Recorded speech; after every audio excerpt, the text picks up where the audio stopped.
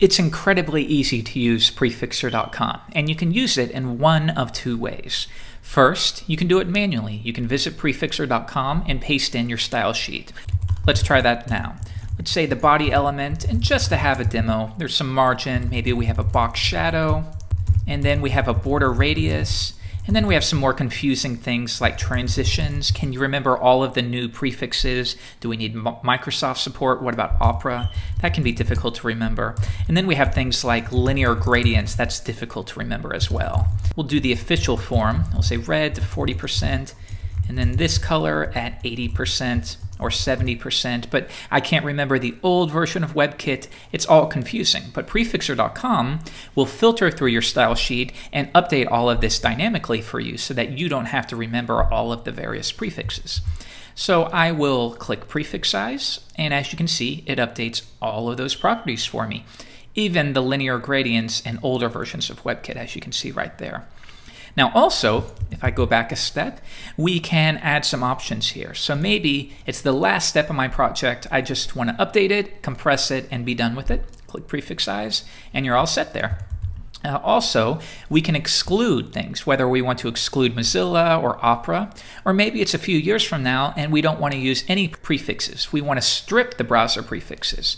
So I could hit all, and that's going to update it to include only the official versions. Or one more would be maybe get rid of Opera, KHTML, and Mozilla, and it will strip all of those out for us. So that's one way you can use this. Another way is to run a request with curl using a shell script. So we can take advantage of this whether it's in the terminal or even in a program like TextMate. TextMate allows for this.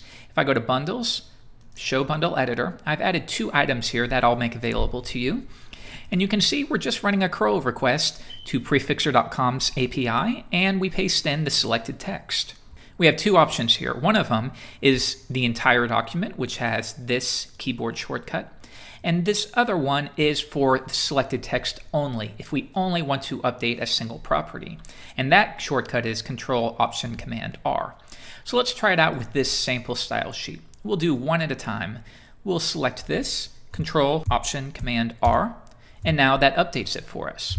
Or we can do the entire style sheet, Control Option Command U, and now that runs a request to prefixr.com and it dynamically updates our entire website.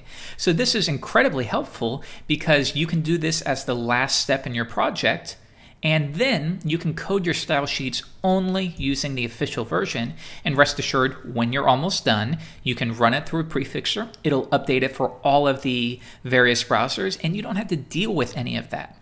So those are the two ways. Anywhere you can run a shell script, you can use this. So for example, Alfred, which is a popular application starter, uh, it has the ability to execute shell scripts as well. So we have one right here. And you can see I'm running another curl request to prefixr.com, and I'm passing through the query, which is represented by this brace, and then we're copying it when we're done. So what you can do with that is run CSS3, which is the trigger, and we'll say we want the border radius of 8 pixels. That's going to run it through prefixr.com, and it's going to take the results and put it into your clipboard. And then you can paste that in anywhere you need to. So lots of different ways to use this, and I hope you enjoy it. The website is prefixr.com.